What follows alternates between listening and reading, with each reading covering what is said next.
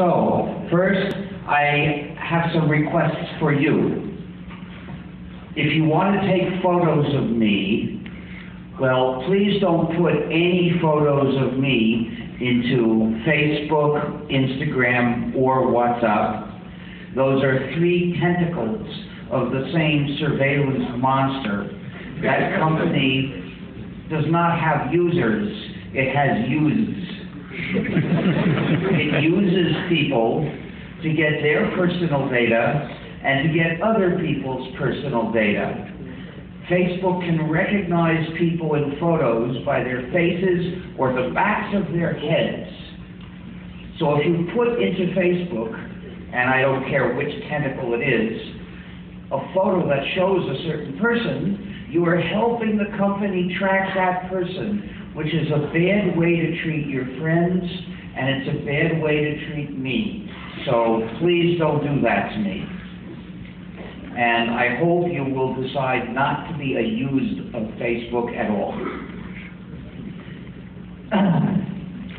Second, if you want to take a photo of me with a mobile device, please deactivate the feature of putting the geolocation into photos. Before you take the photo, you have to deactivate that functionality, and you do it by going to the camera app and then looking at its parameters. There will be a parameter about geolocation in photos. Turn it off. It's not enough just to turn off location in general, people tell me. You have to go do it in the camera app itself. Uh, also, if you want to take, if you want to make a recording, audio or video, and distribute copies, please do so only in the formats that are favorable to free software. That means the OGG formats or the WebM format. Also, please make sure that the distribution site permits people to download copies without making them run any non-free software to do it. So, for instance, YouTube has a problem. To access any video on YouTube, you have to run the non-free JavaScript code that is in every YouTube page. So YouTube is not a good place to distribute a video. Also, please put on the recordings the Creative Commons No Derivatives license because this is a presentation of a point of view. So, free software. What is free software? It's software that respects users' freedom and community. So it's an issue of freedom, not price. Uh, it's liberty, not gratuito. We're not concerned with the question of price at all because that doesn't raise an ethical issue. If you get a copy of a program gratis or if you pay for that copy, well, that's a minor detail. The question that we care about is, once you have a copy, how does it treat you? Does it treat you ethically and justly, or does it try to subjugate you? Does it give someone else power over you? What have you got once you have a copy of that program? That's the question we're concerned about. If that copy respects your freedom and community, then we're happy because it's free software.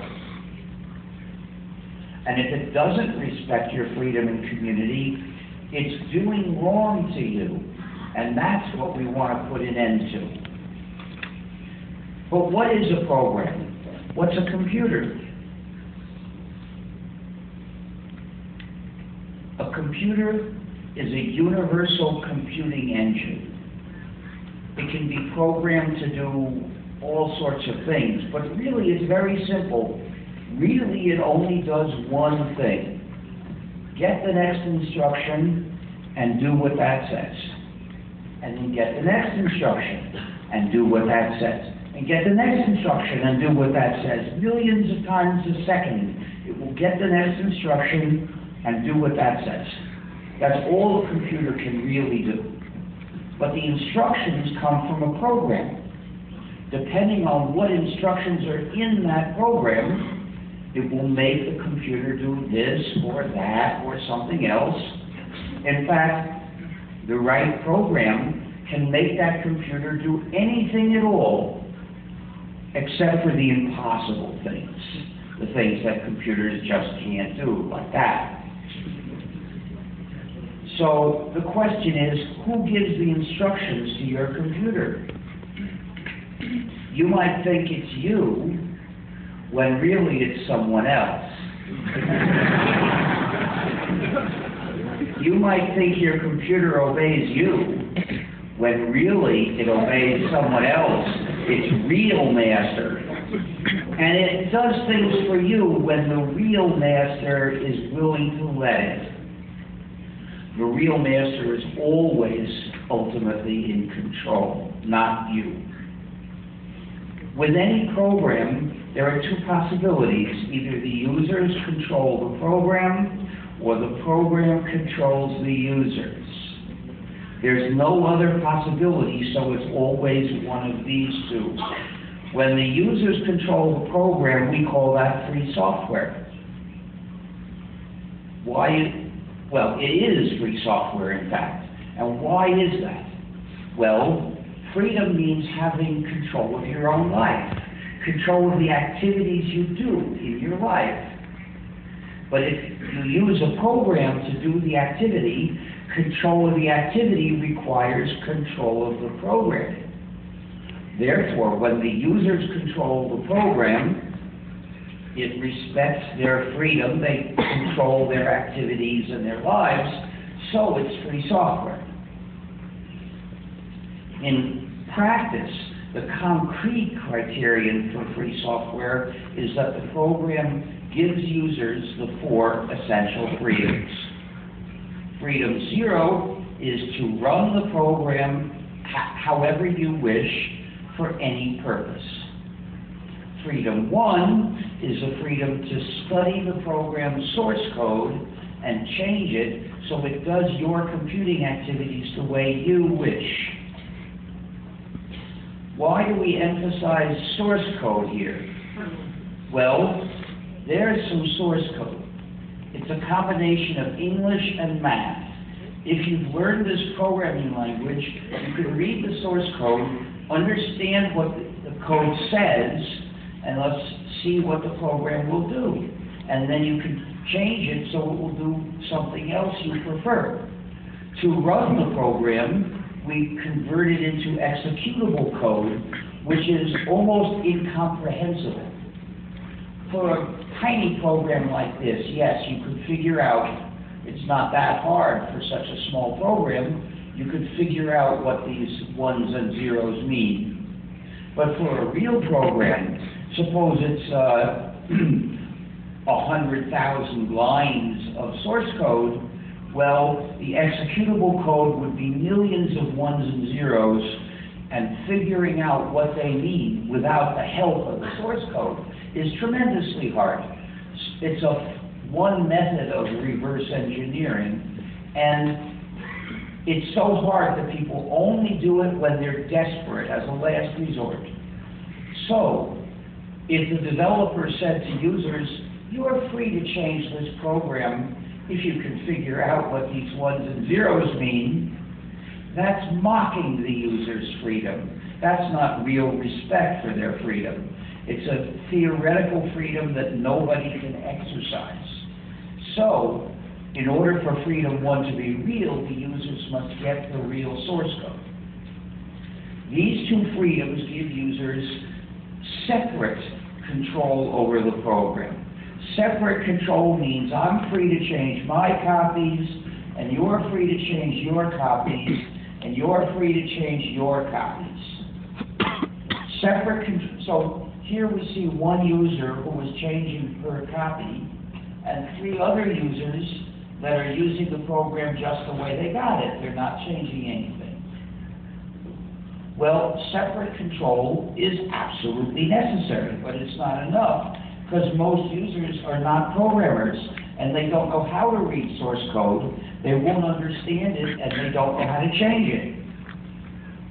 There are a lot of other useful, important, even interesting things to do in life. There's no reason to expect everyone to be a programmer or to have that capability, to have that talent. But these users who don't know how to program, they deserve control over their computer too.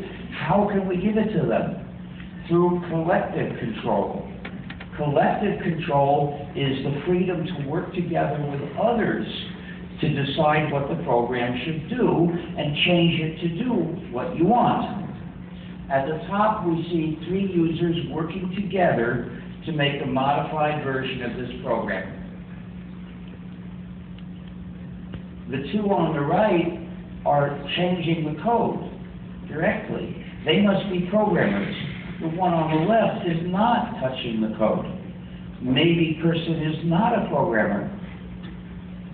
But the person does get to participate in control of the program by participating in their discussions about what changes to make. This is what enables non-programmers to have some say over what their software does. Those who cooperate in this way are those who choose to cooperate. Others may choose not to. At the bottom, there are two other users who are using the original version of that program and they're not working with those three. Why not? It could be any reason. Maybe they don't know about each other. Maybe they don't like each other or don't trust each other.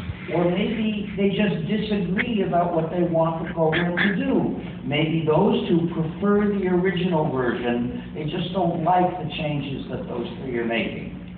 Maybe tomorrow they'll start working together, all five. It, it's up to them.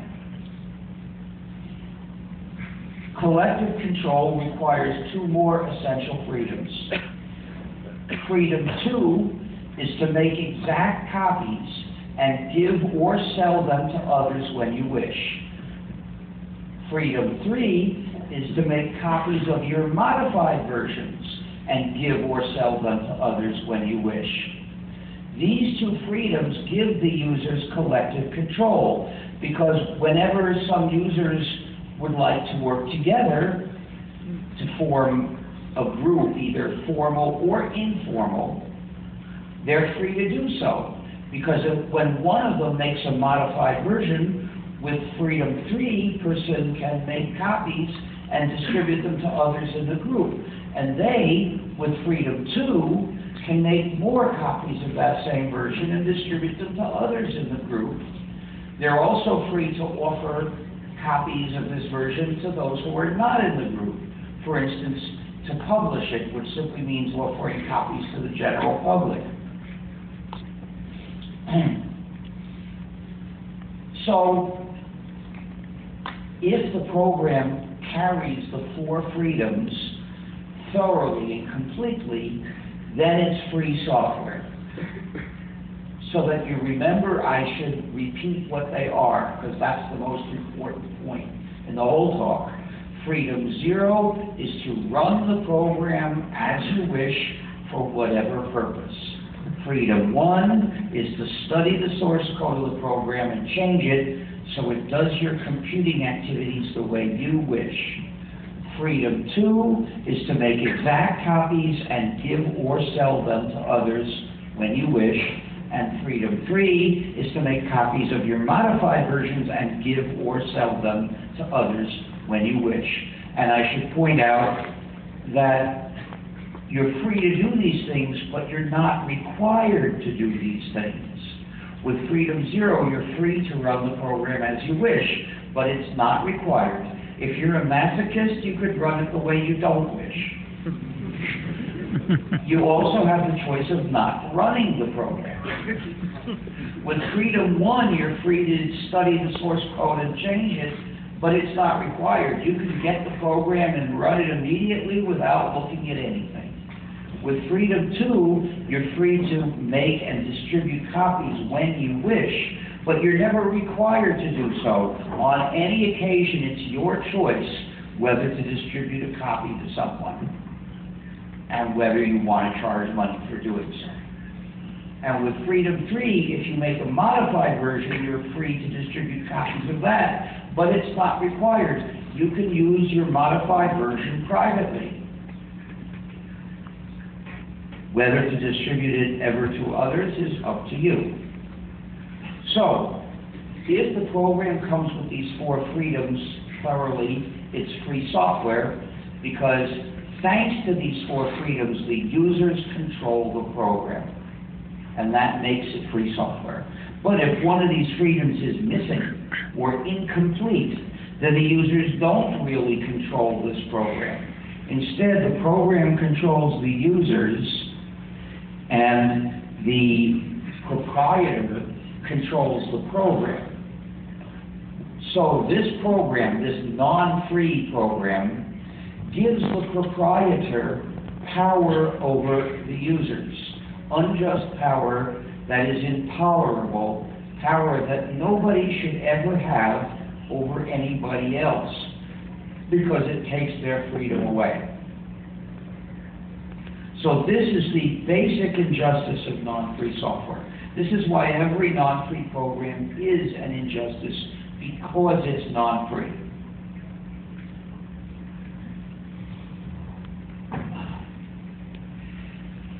I don't know if the camera calls for adjustment now. Uh, that's, there's someone running the camera to the side. Okay, good. So, this basic injustice leads to other injustices. Because nowadays, the proprietor or developer is aware of having power over the users. And power corrupts. The developer faces the temptation to exercise that power for its own advantage, to exercise it in ways that will gain more money at the expense of its users.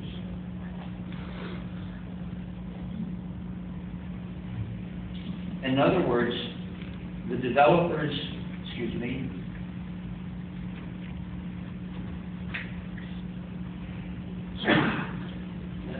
the developers of proprietary software put malicious functionalities into the program, hurting the users but benefiting themselves. This means that they make the program malware. Malware means a program designed to run in a way that mistreats the user. This is a question of what's in the code, what it does when it runs. To distinguish this, free versus proprietary software, that's a question of how the program is made available to users. It's entirely independent of what is in the code. Any program could be released as free software and could be released as proprietary software. Sometimes the same code is available in both ways in parallel. So philosophically, proprietary software and malware are completely independent questions. But in practice, they go together. Proprietary software is usually malware, and free software is hardly ever malware. And the reason is, the proprietary developers, because they know they have power, they are tempted to make it malware. And free software developers, because we know we don't have power over you, we don't face the temptation. We're protected from temptation because we don't have power. So what do the proprietary programs do that is malicious? Often they spy on users. This example is the Amazon Swindle, Amazon's ebook reader, which is designed to swindle readers out of the traditional freedoms of readers of books, including total surveillance of what the user does. Every so often, the swindle transmits the title of the book to Amazon servers. So even if you didn't get the book from Amazon, Amazon still knows what book you read. And it knows the page number you're on. And if the user enters any notes,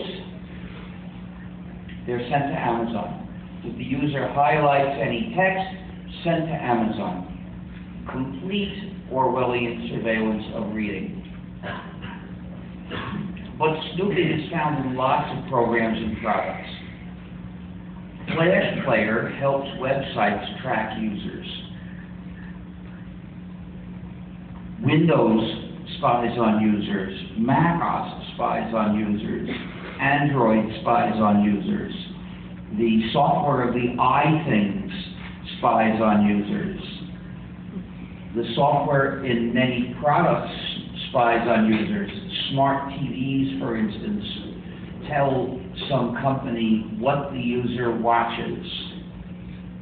If a product is called smart, that probably means it's malicious.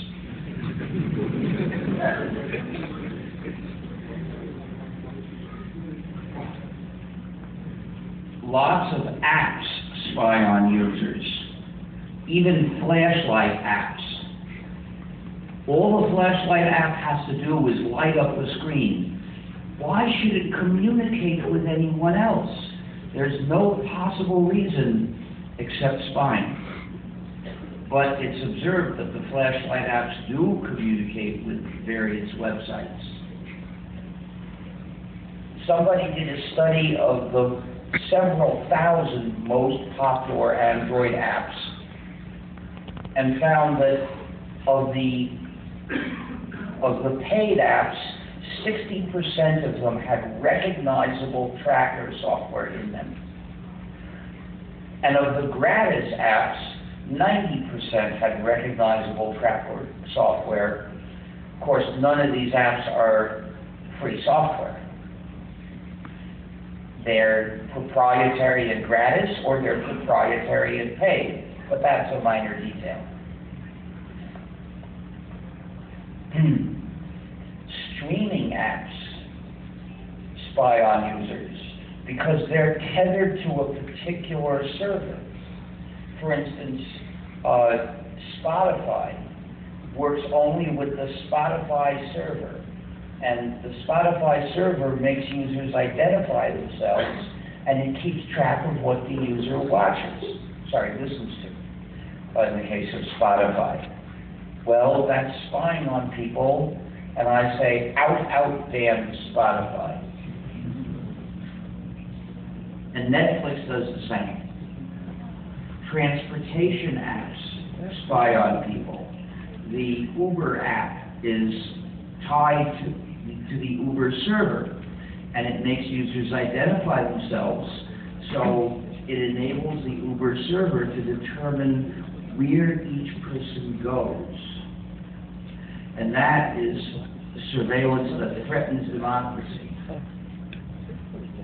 Of course, the app also spies on people's movements before and after the ride.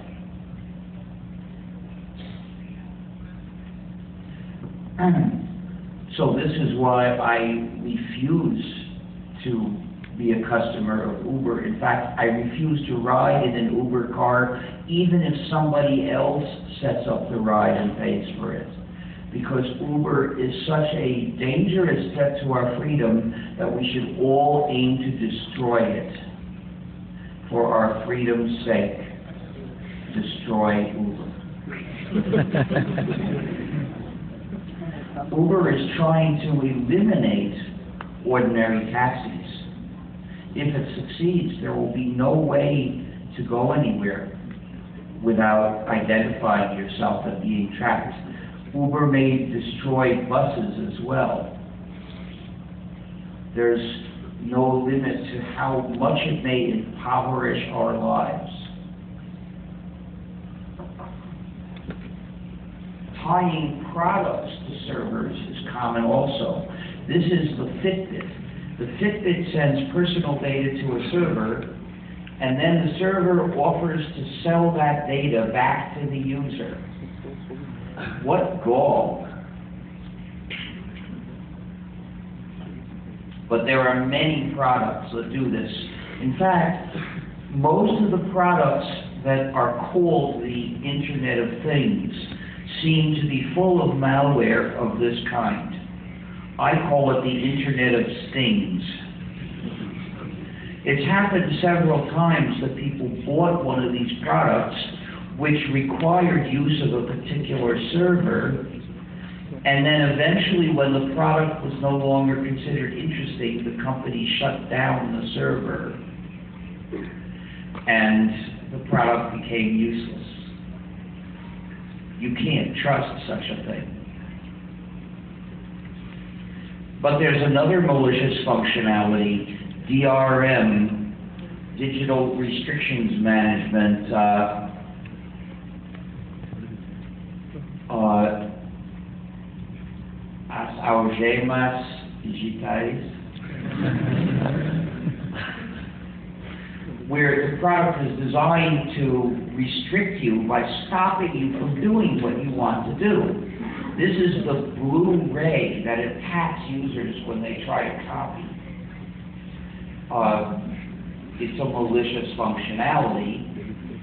And my principle is never to use a product with DRM, never to use a product that was designed to restrict the user, unless I personally have available what is needed to break the handcuffs.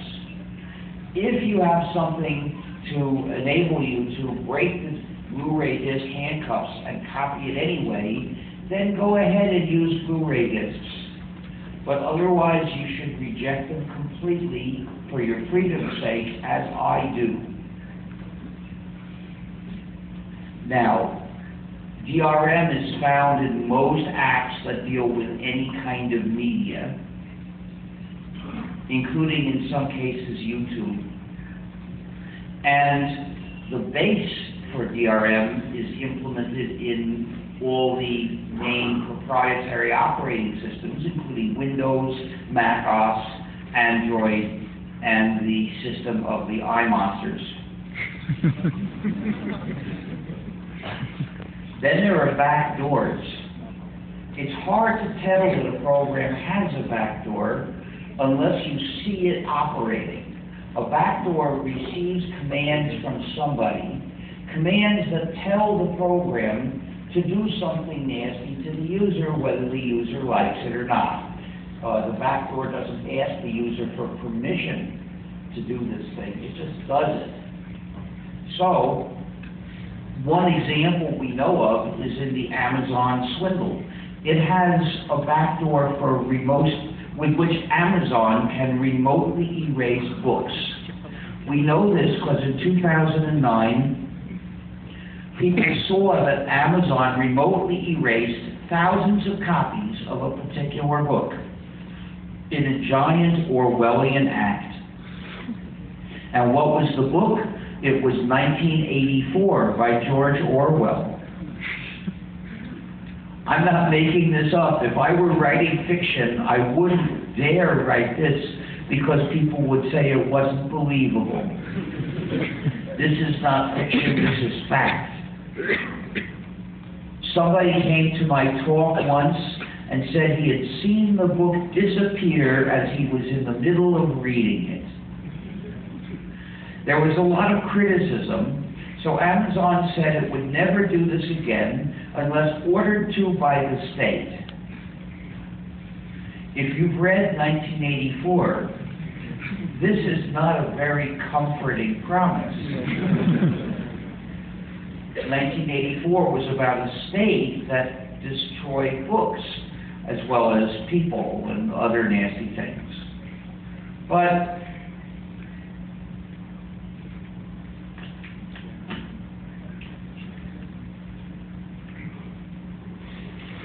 it wasn't a promise anyway. It was just some noise Amazon could make to take the momentum out of the criticism. It wasn't a, a serious promise and it had no legal force. So a few years later, Amazon resumed remotely erasing books without even an order from the state.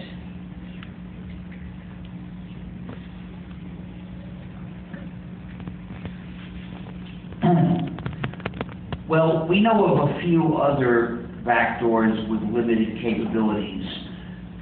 The system of the iMonsters has a backdoor to remotely erase apps. Apple can order an app to be deleted. And Android is worse. You know, Android includes some free components and some proprietary components. Google Play is proprietary, and that's where the back door is. Google can order it to de delete an app or order it to install a specific app. If you use Android, Google can make an app specially for you and force it to be installed.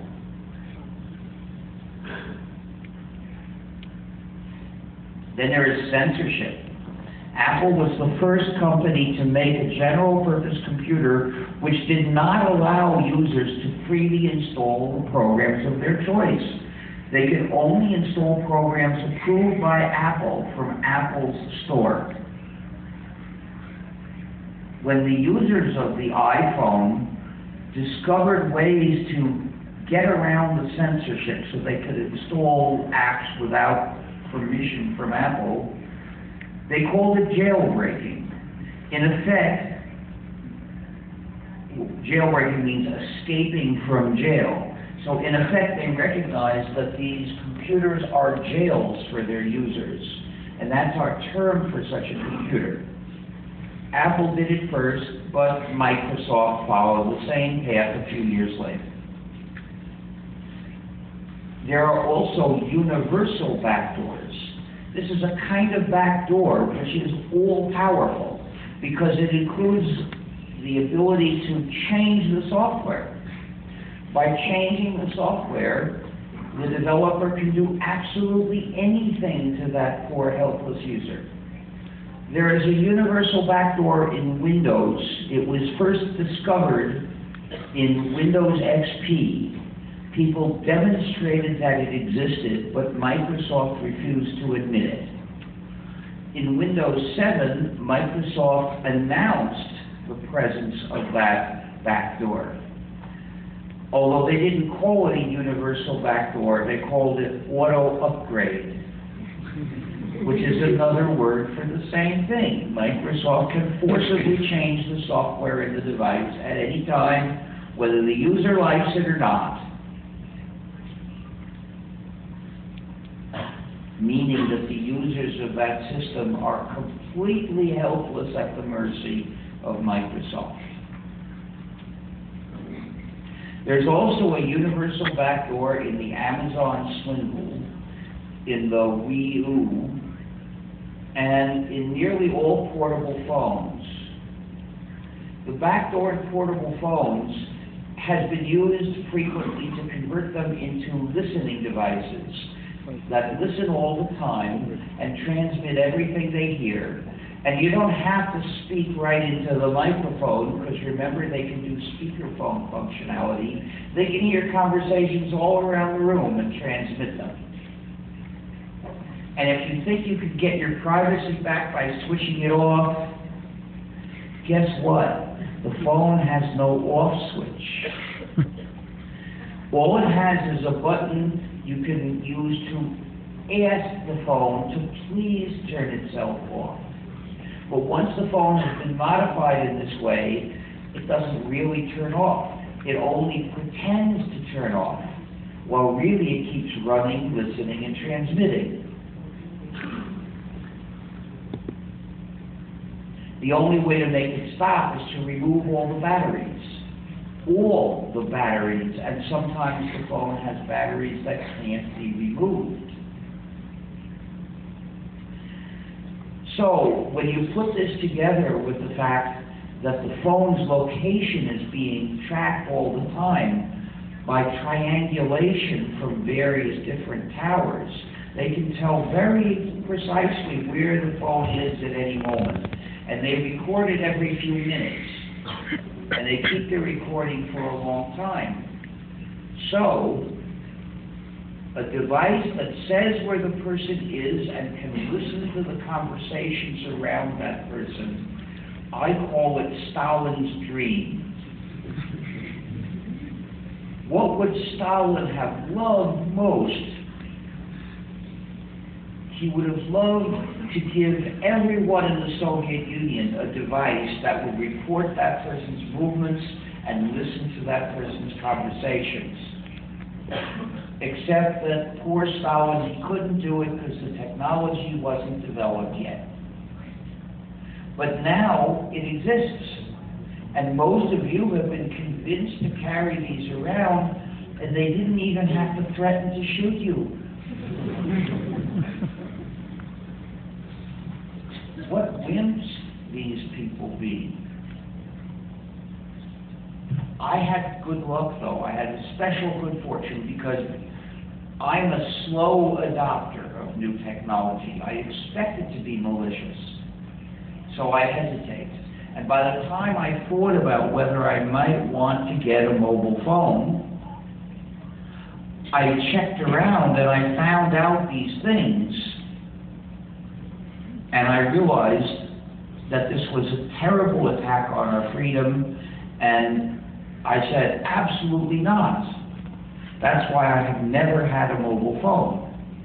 I refuse to carry one because I feel it's my duty as a citizen to defend our privacy against these massive surveillance systems. I do use mobile phones, other people's mobile phones. With luck, I only use each one once. If I'm in a bus and I need to tell a friend what time I'm going to arrive, I say, could someone make a call for me? or send a text for me. This way, Big Brother doesn't know it's me.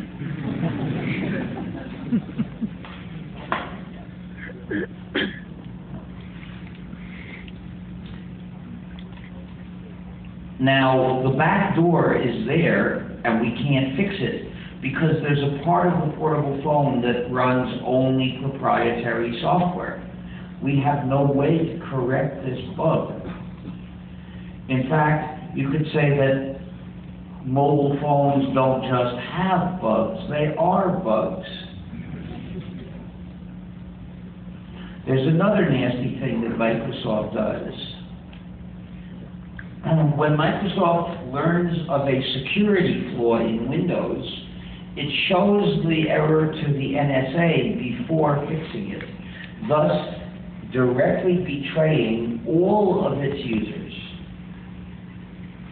Do you think the Brazilian government should use Windows? Obviously not. It's basically making the state totally vulnerable to the U.S. And what the U.S. will do to Latin American countries is not very pretty.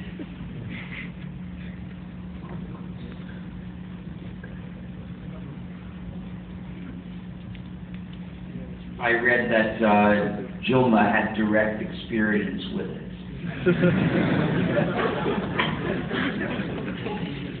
so, I've only given you a few examples. We have more than 300 examples of proprietary malware in gnu.org slash proprietary. But these are enough to show that almost all people who use proprietary software are victims of known proprietary malware. Because they're using at least one of the things I mentioned just now. So we know that they're being mistreated. Why do those companies do it? They found ways to make money by mistreating their own users. And since they have no ethics, they do it. Now, we know of these 300 cases where specific soft, proprietary software is malware. And there are thousands more proprietary programs which we don't know about. Well, there are probably hundreds of thousands of proprietary programs, and most of them we don't know whether they're malware or not. And we can't check because they won't let us see the source code. So we could only speculate. The result is Sometimes a proprietary program is known malware, established, demonstrated malware. And the rest of the time, it's possible malware. You can never, I'm sure there are proprietary programs that are not malware, but we can't identify even one of them. Every proprietary program is either established malware or possible malware. The, which means that you can't ever have a rational basis to trust a proprietary program. It's blind faith or nothing. And often it's blind faith in a company that has already betrayed the users, but asks for you to be really, really dumb and trust it yet another time.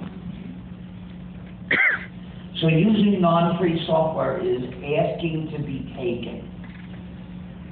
And I hope you'll get smart enough to say no, no way, never. The only way to have a rational basis to trust a program is if it is free software, because then the users control the program and we contributors do not. And we know that.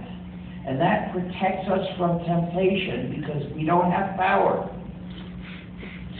With free software, the users have a defense against malware. It's the only known defense against malware, which is they can check the source code and they can fix it. And people do check the source code from time to time, typically because they want to add a feature or fix a bug. But in the process, if there's anything malicious in the part that they're studying, they can see that and they can start a scandal and someone will fix it. That can't happen with proprietary software. Even for these hundreds of programs we know are malware, we can't fix them. The users are not allowed to fix them. That's what proprietary software means. So, in order to have freedom and escape from malicious software, you need to escape from proprietary software and come live with us in the free world that we have built. We built it with the GNU operating system and the kernel Linux. Together, they create the free world that gives us the, op the opportunity to be free. I developed the GNU operating system specifically for this reason. I wanted to make it possible to use a computer and have freedom. that, was, that was in 1983. I wanted to use computers in freedom, but it wasn't possible. Every computer needs an operating system in order to be useful. And in 83, all the computers required, all the operating systems for the new computers of the day were proprietary. If you bought a computer, you had to run it with a proprietary system and lose your freedom. So in 1984, I started developing the GNU system. The goal was to make a free software operating system so that people could use their computers with only free software. In 1991, GNU was nearly complete but one major essential component was missing. That was the kernel. The kernel is the component of an operating system that allocates the machine's resources to the other programs that you run. We started developing a kernel in 1990, but I chose a design that appears to have been too advanced, too elegant. We hired someone to write the system, but it took six years to have a test version. Too bad, but fortunately we didn't have to wait for it, because in 1991, Mr. Torvalds developed a kernel called Linux, and he actually got it to run. Now, it was not free software in 91, but in 92, he changed the license. He released it under one of the free licenses, specifically the GNU General Public License that I wrote. And that made Linux free software, but, and so that meant people could fit Linux into the last gap in the GNU system, producing a complete free operating system, basically GNU, but also Linux. It's the GNU plus Linux or GNU slash Linux operating system. And please call it that so as to give us a share of the credit.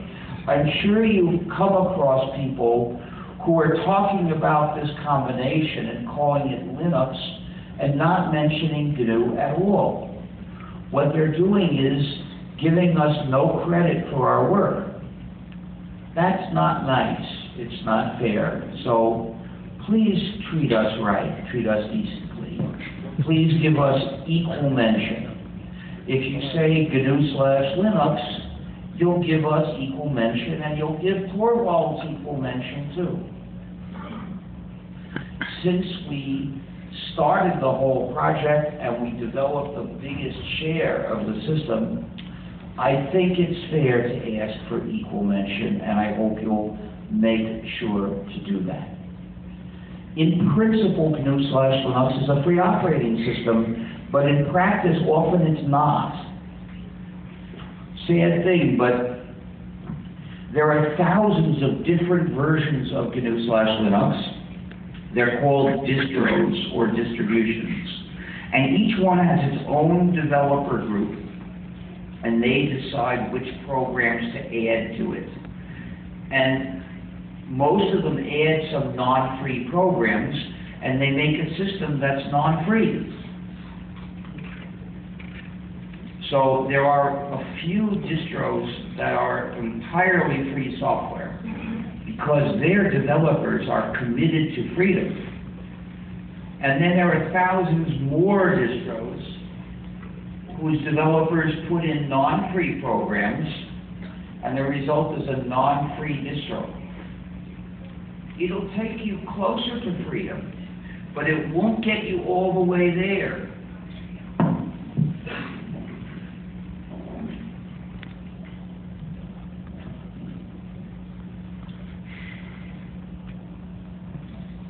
Look in gnu.org slash distros for more information about which distros are free and which are not. If you install a non-free distro, well, you'll probably get some non-free software in there. It's still a lot better than using Windows or Mac OS. That is, it's a lot less bad than using Windows or Mac OS, but it's still partly bad.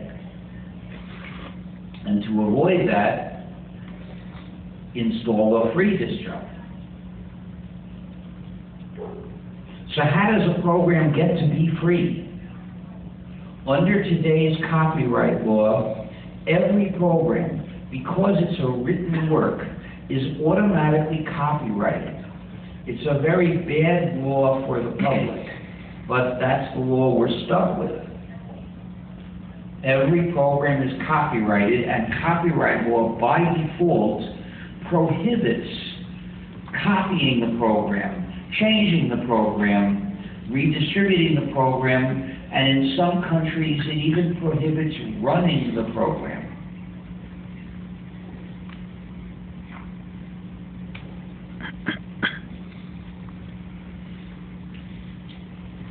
So how do we make that program free? It's done through an explicit declaration by the copyright holders, which gives every user the four freedoms. We call this a free software license. And this license changes the legal situation. It creates the four freedoms for that program. So it's absolutely essential. A program which doesn't, which is not covered by a free software license is proprietary.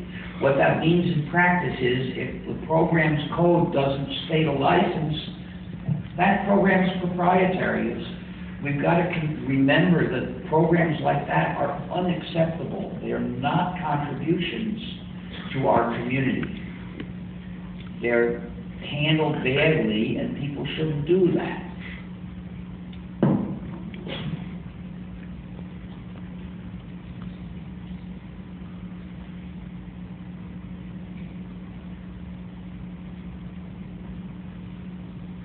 Nowadays, a lot of people put no license on their code because GitHub encourages that bad practice.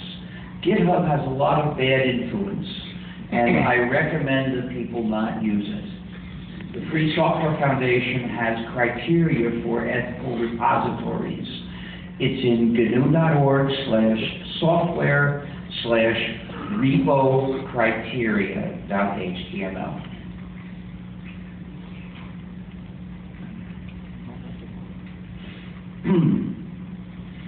Now, since we're dealing with users' freedom here, we want to leave no doubt about what freedoms the users have with any piece of code. So the license needs not only to be stated somehow, it needs to be stated clearly, very clearly, leaving no doubt about what license covers any piece of code.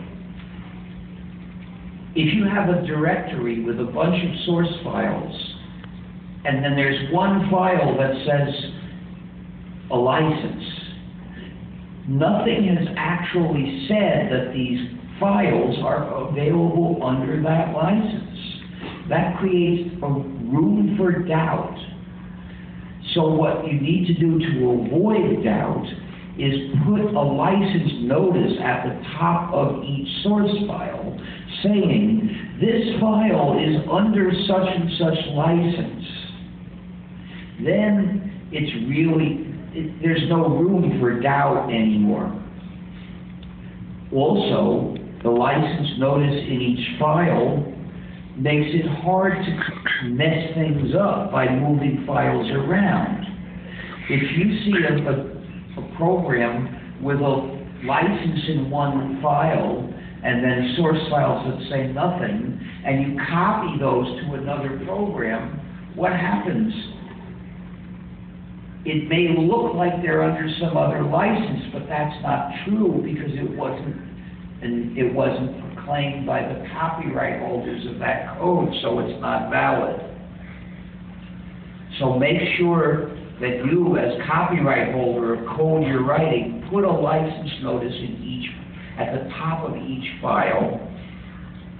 And in addition, when you're using the GNU General Public License, the license notice is what says which GPL versions apply. So that's a question that has to be answered to avoid ambiguity of the licensing. Put in the license notice, and when you see a program that hasn't done this, please politely ask the developers to clarify their licenses. There are many different free, free software licenses. Any proclamation by the copyright holders that gives users the four freedoms is a free software license, and there are various ways to write it, and they do different things. What they have in common is they all provide the, free, the four freedoms but there are different ways to do that. There are two principal categories. There are the weak licenses, we also call them lax permissive licenses or pushover licenses. And there are the copyleft licenses, the ones that defend freedom for all users. The weak licenses say do anything you like with this code. Just keep my name on it, sometimes they say. Well, that certainly provides the four freedoms. They're, those are free licenses. But they fail to protect users' freedom. They permit too much. They actually permit proprietary, unscrupulous companies to take that whole code and put it into a proprietary program, which is effectively a modified version of the original free program, but it's not free, it's proprietary. And then they can use that to subjugate users. That's what happened with Apache. Apache is a free program released under a lax permissive license. So good, lots of people use Apache and they have freedom, but IBM saw that and put all the code of Apache into a proprietary program, a modified version of Apache, and lots of the users are actually running that version, and they don't get any freedom. Fortunately, I had seen this before I had any new programs to release, so I knew that this was the danger. My goal was not just to have a lot of people use my code. My goal was to give them freedom, each and every one of them. And to achieve that goal, I had to prevent something from happening like what happened with Apache later on. Apache didn't exist then. I had seen examples with other software about how this could happen. So I developed the GNU General Public License, which gives everyone the four freedoms, but requires everyone to get the four freedoms. Copyleft says Yes, you are free to redistribute exact copies or modified versions, but there's a condition on how you redistribute them. You must pass along the four freedoms fully to the users who get the code from you. And if you've made extensions in this program, well, the freedoms have to cover your extensions as well. More specifically, it says you must redistribute under the same license and with the source code. And that ensures that the people who get it from you get the four freedoms also. The same, they have to get the same freedoms from you that you got from us. And this way, copyleft says the freedom must go with every copy of every version of this program. All the users must be free. That's the purpose of copyleft. The GNU General Public License is the implementation. And the result is that companies like IBM, they contribute to the main version since they see that they are not permitted to distribute a proprietary modified version, they do the next best thing, which is work with the developers, contribute their code to the main free version, and it gets to everybody. And their contributions are quite useful. But remember, we get their contributions because the program is copylefted. If we were weak, if we allowed them to make a proprietary version, that's what they would do. And that would be no contribution at all to our community if you're working on something and you'd like our suggestions about how to choose a license for it, look at gnu.org slash licenses slash license recommendations.html.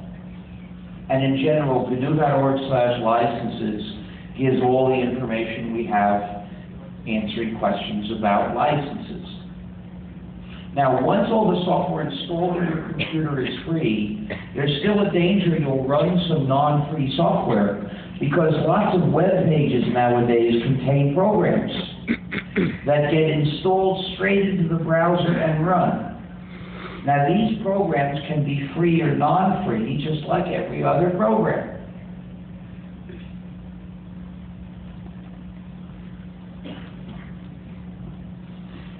Hmm. So if that program is non-free, you end up running non-free software, and you probably didn't know it because the browser doesn't say anything about it. So we developed an add-on for Firefox called LibreJS, which checks all these programs to see whether they're free and also whether they're trivial. And if the program is either trivial or free, LibreJS permits it to run. But otherwise, LibreJS blocks it, and you can see on the screen that there are non-free programs in there. And it does one other thing. It searches heuristically through the site looking for where and how to contact the webmasters. That's to make it quick and easy to complain. You just have to click, it will show you how to contact the webmasters, then you click on the address and it gives you a box and you can type in your complaint. I couldn't use your site because it tried to make me run non-free software in JavaScript in the web page. Please fix that. Send. In less than one minute, you can send your complaint. In 10 minutes a day, you can complain to 10 different sites. Please do that. We need your help. We need to put pressure on those webmasters to take it seriously.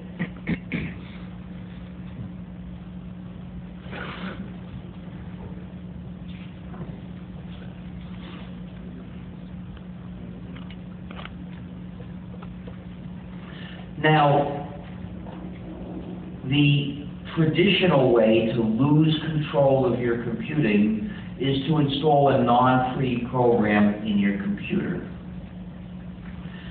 And you let that do your computing.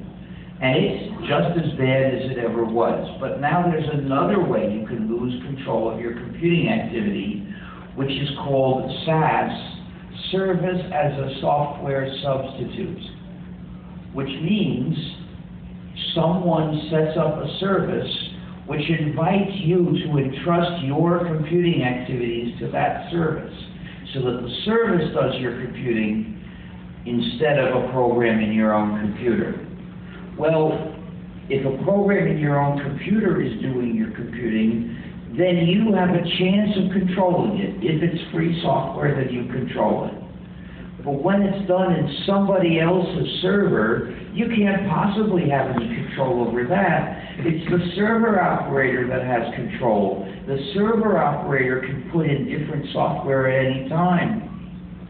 And if there's a free program running in that server, that copy belongs to the server operator, and it's the server operator who can modify it, not you.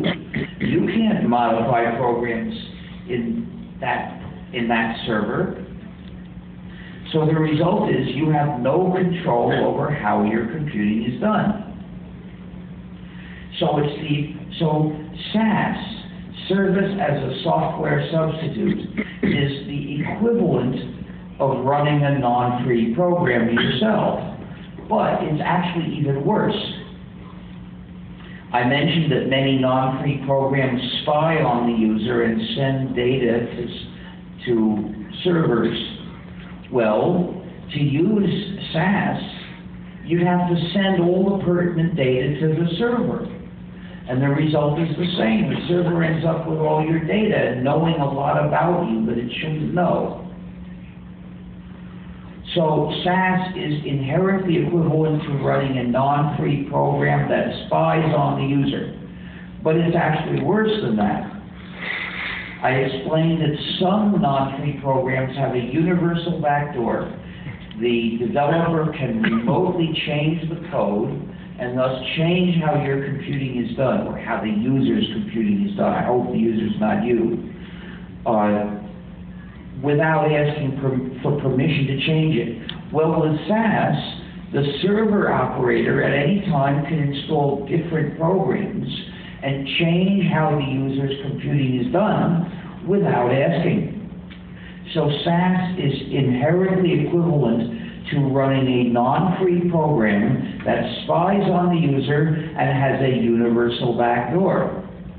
It's absolute poison and you should never use it.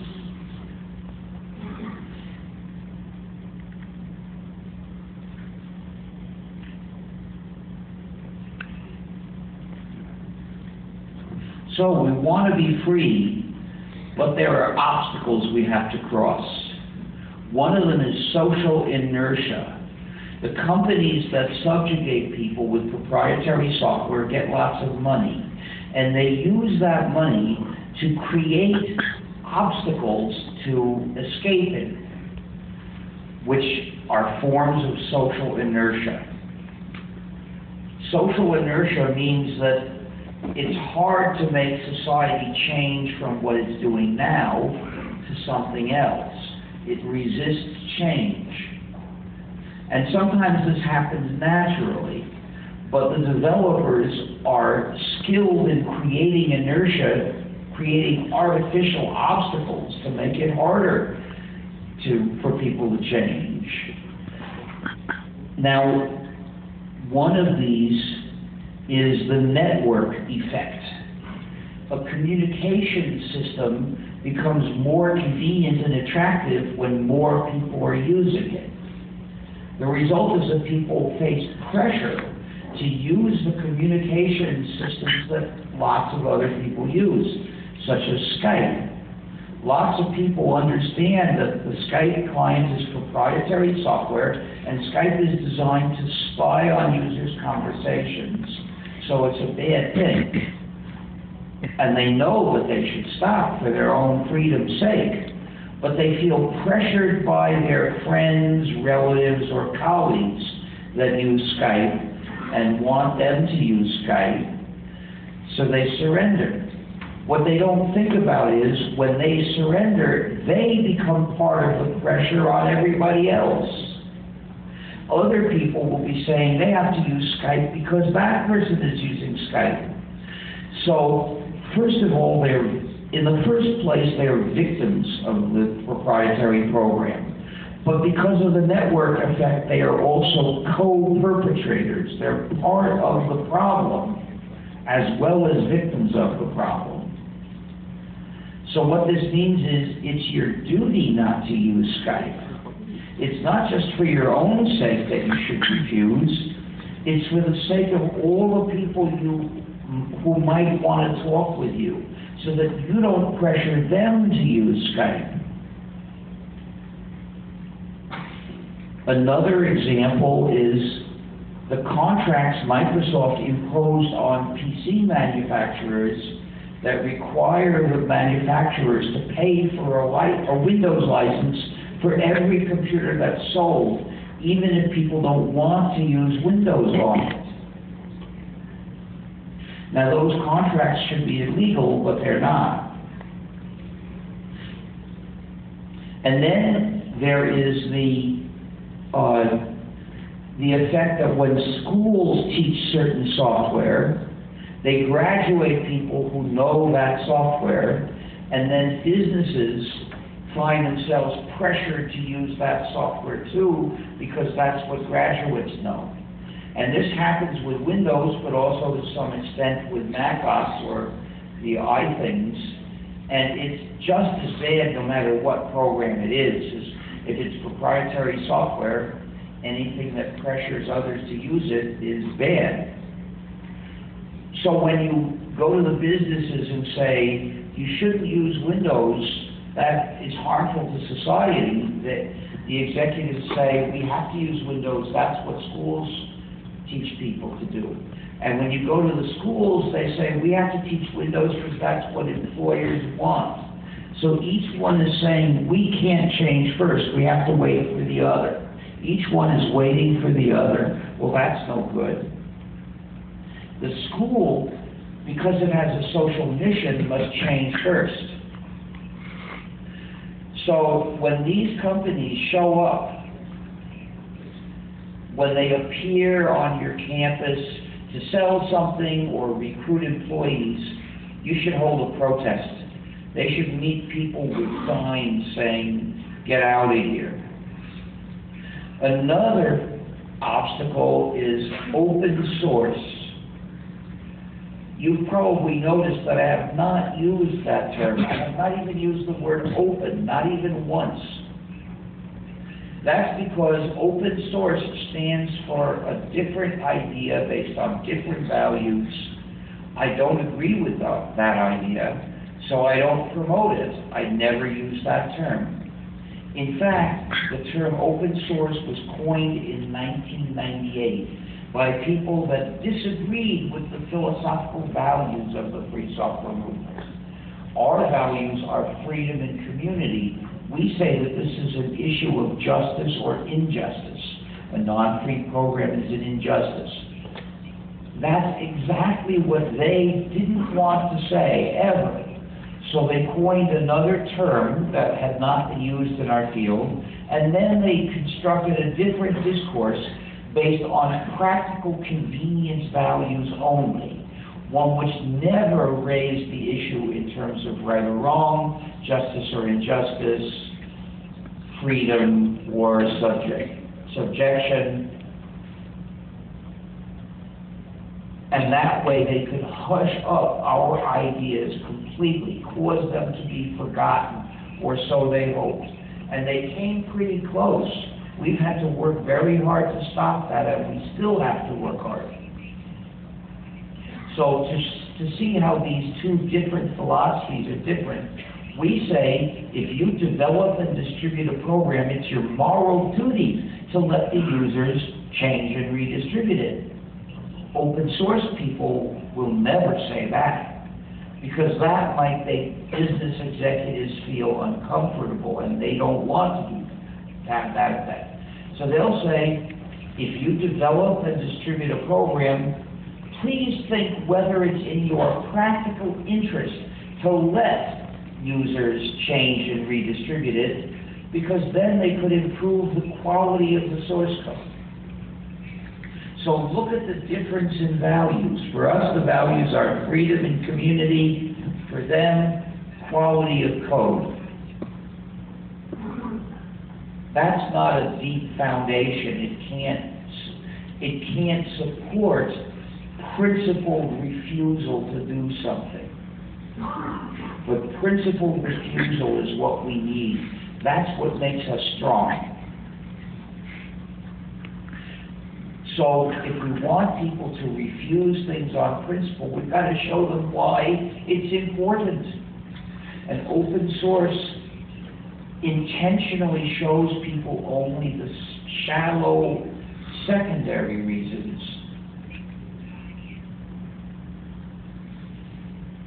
Unfortunately, in 1998, most of the community held their values and their philosophy. Um, almost all the businesses, and, and they started saying open source. Almost all the businesses started saying open source. The politicians and journalists followed the businesses, followed the money, and since then, in the important media, you almost only see open source. They don't talk about free software. Maybe it's somewhat better here. Have you seen major media talk about software VV? Ah, so they have pushed it out here also. Um, so we have to push back. We now have to work to show the users of our software that there is such a thing as the free software movement and the free software idea and what it is. And we're working against those major media, so we have to keep at it. I've even seen articles that called me the father of open source. Ugh.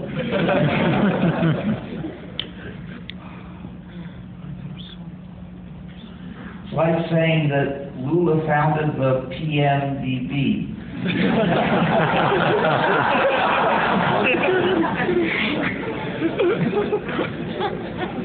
It's just not true. So, what do I do? I sent a letter to the editor saying, if I'm the father of open source, it was created through artificial insemination using stolen sperm without my knowledge or consent.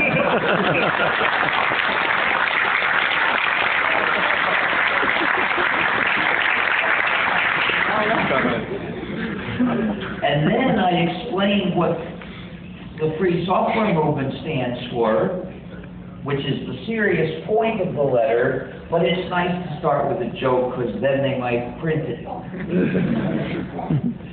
but I can't do enough. You have to help. And the way you help is never talk about open source. If somebody else starts talking to you about open source, you should say software libre. Show that you care about freedom, even if the other people don't.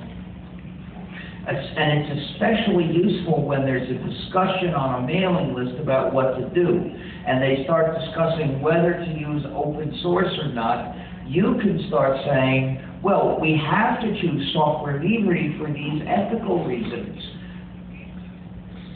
You just don't use the term open source in your response. And even if you don't win that particular, on that particular decision, you will have educated everybody in the list, including the majority that are not actually saying anything. They'll see what you say. So you have an opportunity to teach them that there is such a thing as free software and what the idea is, and that it's different from open source. I am eager to take these opportunities every time I come to them. And you can do it too. Another obstacle is when the specs of hardware are secret. How are we going to develop a free program to use the hardware if they won't tell us how to run the hardware? The only way is through reverse engineering, which means studying how the non-free software talks to the hardware to figure out what the commands of the hardware are, and then pass that to somebody else who will write a free replacement program. Reverse engineering is hard, but people can do it. And in these cases, it's necessary. If you want to make a very important technical contribution to the free community, do reverse engineering. In fact, this university ought to teach reverse engineering. It should have a class. It's a very important field. It's a good profession to be in because there are not that many people who do it, and there's lots of demand. So this university should be preparing its students to go into that line of work, but also preparing them to help the free software community overcome this very painful problem. Speaking of schools, schools should teach exclusively free software, no exceptions. And when I say schools, I mean everything from nursery school to university and adult education. And when I say teach, I don't just mean formal training. I mean leading and showing students how to use that program. That's teaching it. The school should teach only, exclusively, free software.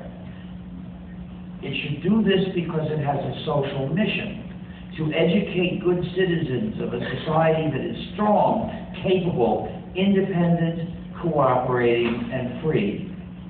And this should not be a mysterious, inexplicable policy. On the contrary, the school should teach why it has this policy. It should teach about the four freedoms. It should teach about the social mission of the school and why that requires teaching only free software.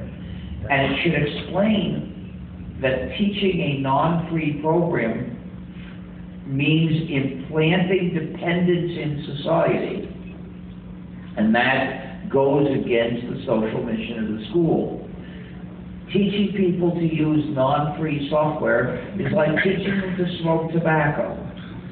The school should not make students dependent on things that will be bad for them. But there's another reason. For moral education and citizenship, schools must teach the habit of helping other people, teach people to be good, cooperating members of their community. So every class should have this rule. Students, if you bring software to class, you may not keep it for yourself. You must share it with the rest of the class, including source code in case someone here wants to learn because this class is a place where we share our knowledge. Therefore, you may not bring proprietary software to this class except for reverse engineering. The school must set a good example, which means following its own rule. It must bring only free software to class and share copies, including source code, with everyone in the class, except for reverse engineering exercises, because there the source code is actually the answer to the exercise. So the school should, should hand out the source code, but after the students turn in their work. But there's another reason for the sake of education of programmers.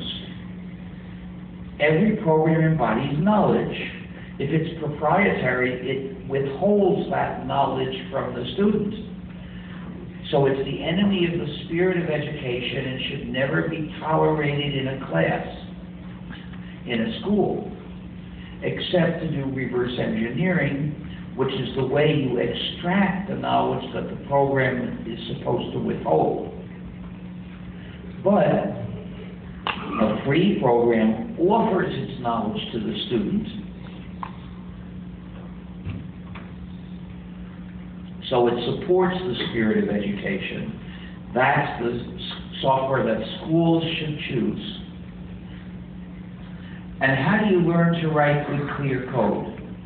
You do it by reading lots of code and writing lots of code. Well, only free software offers the chance to read the code of large programs we really use.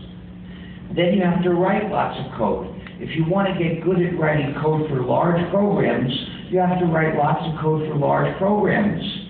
But to do that, you have to start small. What does it mean to start small writing code for large programs? It means writing small changes in existing large programs. And after you've done that enough times, you can advance to writing bigger changes in large programs. And eventually you get to write large changes in large programs. Only free software offers the opportunity to write changes in existing large programs that we really use. Any school can offer the opportunity to master the craft of programming if it is a free software school. And those of you that have a relationship with a school, if you're a student or a teacher or an administrator or an employee or the parent of the student, it's your responsibility to campaign and pressure for that school to move to free software.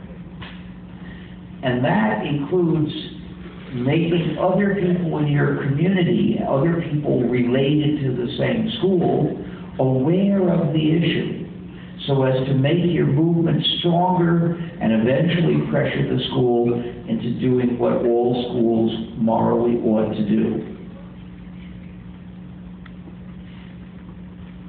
Sometimes the school's administrators will say, we'll start a pilot project to see how it works you've got to look at how big a step the school proposes to take. Clearly, migrating a university can't be done in a week. It's going to take years. But the school must start taking steps that are big enough that it could finish the job in some years and not in some centuries. If the steps are really tiny, you can see that they'll never get there in this century. And that's not good enough.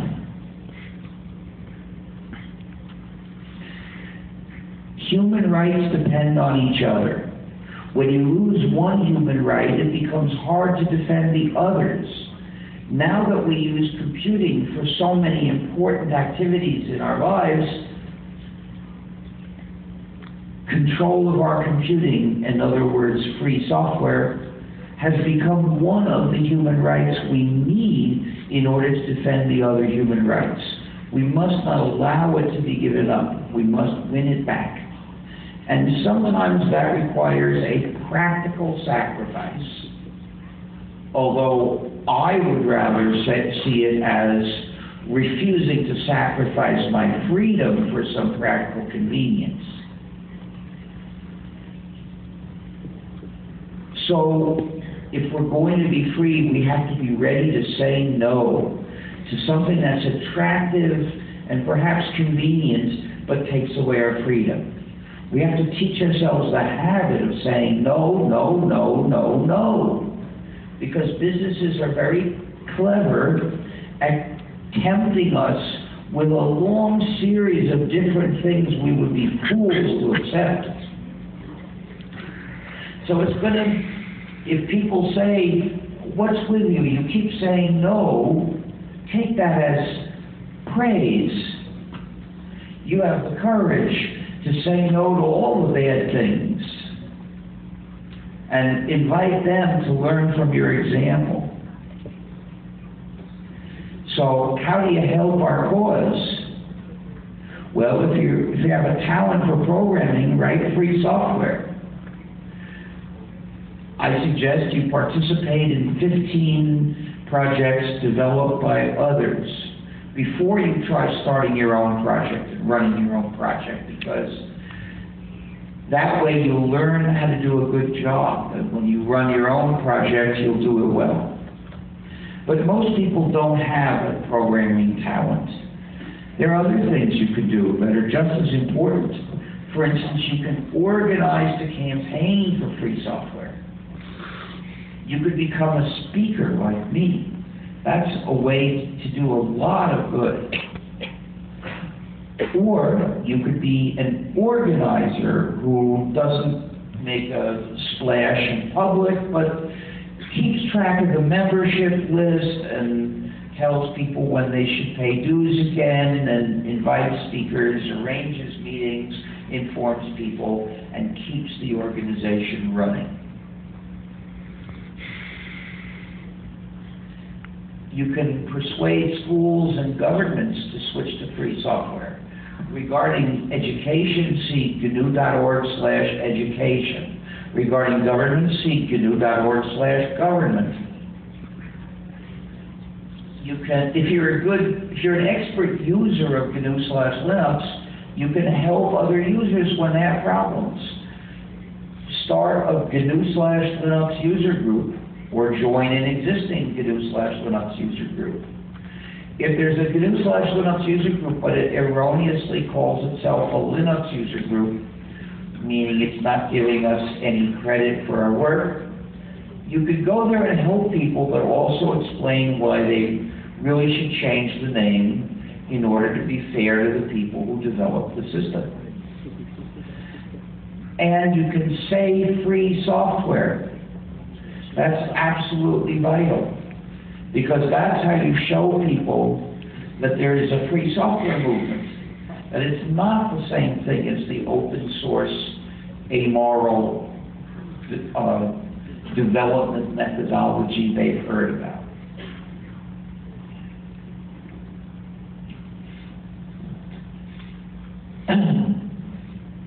For more about philosophical and political questions about free software, look at gnu.org slash philosophy. For the history of GNU, look at gnu.org slash GNU. There's also gnu.org slash distros, which says which distros are free, and gnu.org slash licenses that talks all about free software licenses, and um, gnu.org slash proprietary that lists 300 and more examples of proprietary malware with references in the press. We also have fsf.org, which is the website of the Free Software Foundation. Remember that name and you'll remember FSF. And there you can find lots of useful resources for using free software. You can find political pressure campaigns you can support, and you can find our store. You can donate money. You can also join as an associate member. We need your support that way. But there is a sort of store outside there where we are selling some kinds of FSF merchandise. Buying that is a way to support us. There's also a blue plastic bowl which you could put donations into. And if you want to join the FSF, you can pay me your dues in cash and fill out a card with the pertinent member information and give that all to me, and I'll get you made a member. Hmm. Now it's time to present my other identity.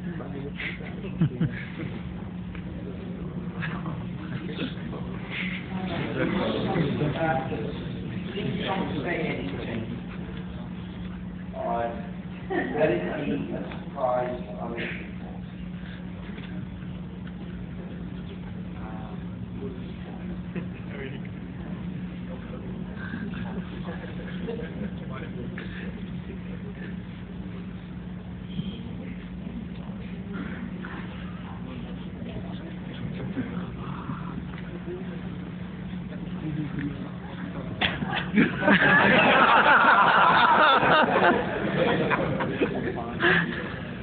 I am Saint Ignucius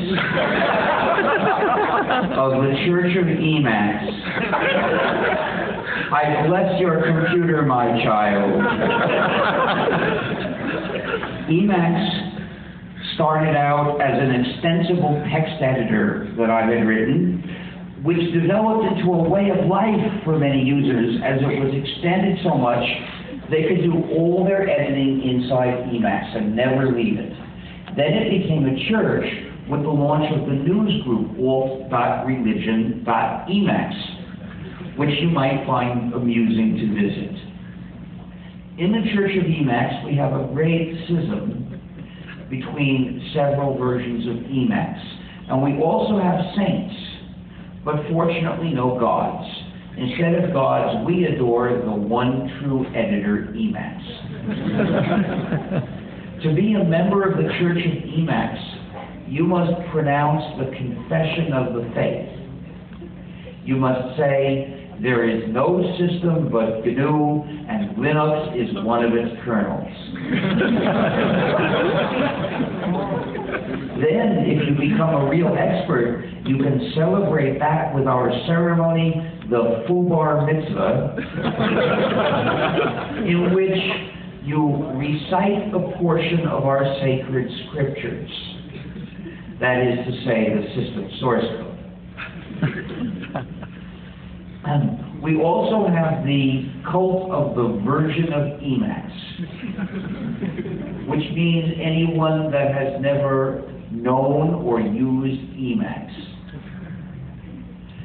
And in the Church of Emacs, offering the opportunity to lose Emacs virginity is a blessed act. We also have the Emacs pilgrimage, which consists of invoking all the commands of Emacs in alphabetical order. There is a breakaway Tibetan sect which claims that it's sufficient to execute these commands automatically under the control of the script. However, the Mother Church holds that to gain spiritual merit, you must type them by hand. the Church of Emacs has advantages compared with other churches I won't name. For instance, to be a saint in the Church of Emacs does not require celibacy. but it does require living a life of moral purity. You must exorcise whatever evil, demonic, proprietary operating systems have possessed computers under your control, and then install a wholly free operating system where holy can be spelled in multiple ways. And then use, I'm afraid people didn't understand that. It's holy, uh, as in uh, santo, but it's also holy, as in totally. Uh,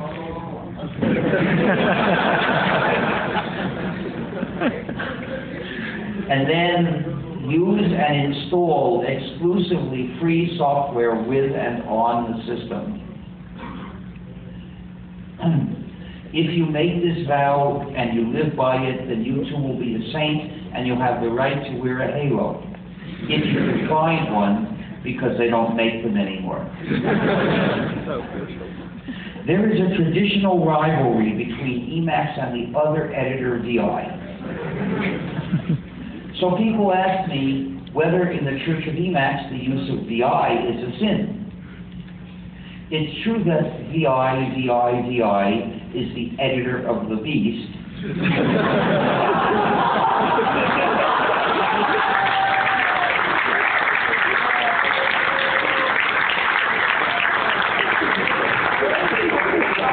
But using a free implementation of VI is not a sin, it's a penance.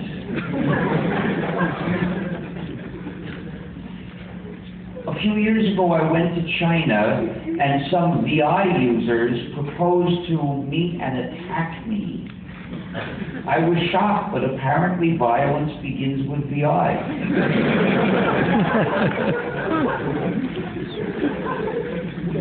People have occasionally asked whether my Halo is really an old computer disk. This is no computer disk, this is my Halo. But it was a computer disk in a previous existence.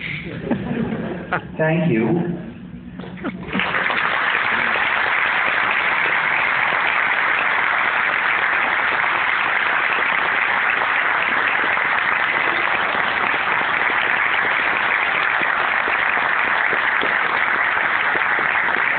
Now it's time for the auction.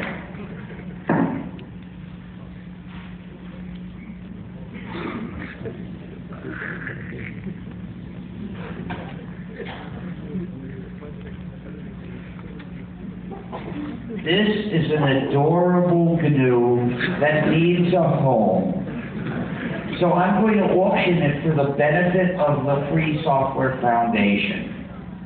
If you buy the GNU, I can sign this card for you.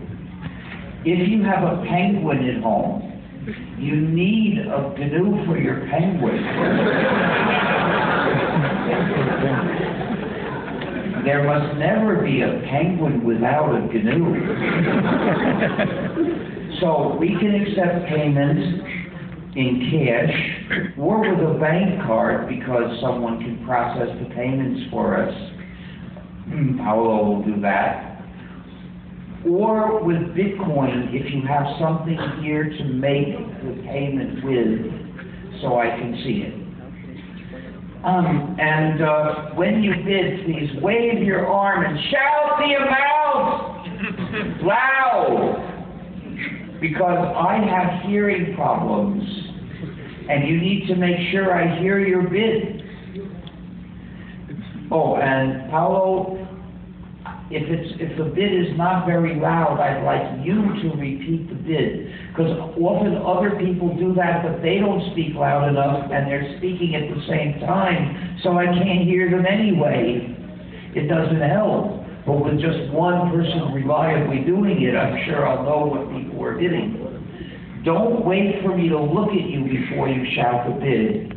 Uh, shout it so I'll look at you. And I suggest you go a little bit further in, into uh, the audience so that you're closer to the people in the back. And, and I'm going to start with the usual price, which is $25 or 90 cads. So, do I get 90 for this adorable GNU? 90 cads? Who's speaking? How much? Okay, I got 90. Do I get 100? How much? Okay, I got 100. Please don't wait before you shout. I've got 100. Do I get 110 for this? How much? Okay. 100. Okay, I've got 110. Do I get 120? I, who's, I got 150. I got 150. Uh, do I get 160? What? What? What is 200? I've got 200. Are you bidding? What are you bidding? 250. I've got 250. Do I get 275? I've got 250. Do I get 275 for this adorable balloon? 275. 275. I got 275. What? Two eight. No, no, that's too small. I don't want, I don't want it to, take an hour, you see. So I've got two seventy-five, do I get three hundred? Three hundred. I've got two seventy-five, do I get three hundred? Three hundred, are you bidding? Three hundred. Here. I got three hundred, do I get three thirty? Do I get three thirty for this adorable? Do I get three thirty, how much? Three thirty. I got three thirty, do I get three Vamos sixty-five? lá, Tony. Toca, Tony. Vamos lá. I got three thirty, do I get three sixty-five for this adorable GNU?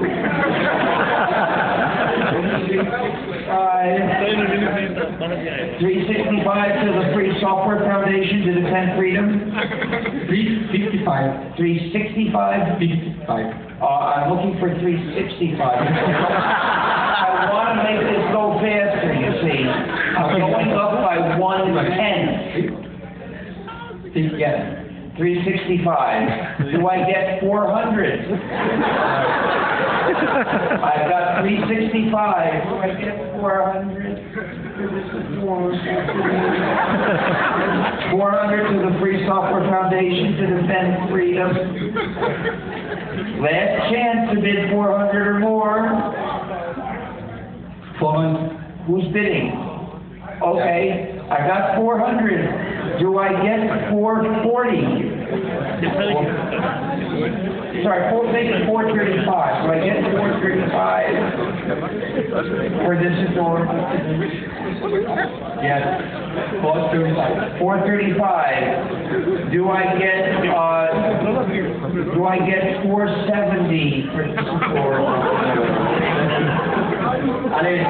What is he saying? Seventy-five. Four seventy-five. I've got four seventy-five.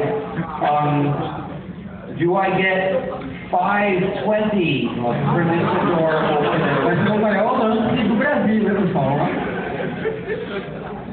do I get five twenty for this adorable GNU? Five twenty to the Free Software Foundation to defend freedom.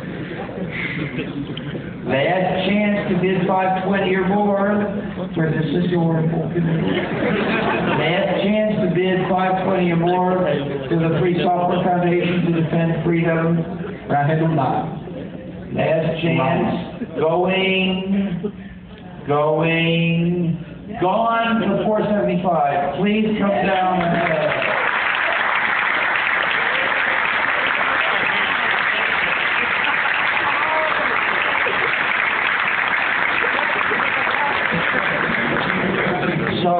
how do you wish to pay? What?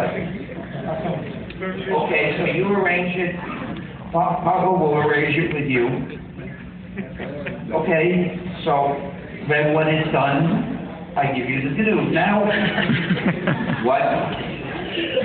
He gets it after he pays you.